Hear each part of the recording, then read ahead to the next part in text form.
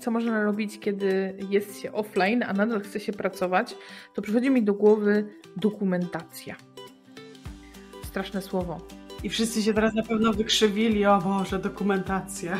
Tak, tak, na pewno.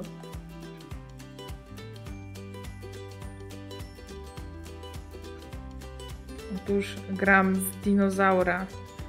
Tego wiecie, z Chroma, jak nie ma internetu. Mam zainstalowany na telefonie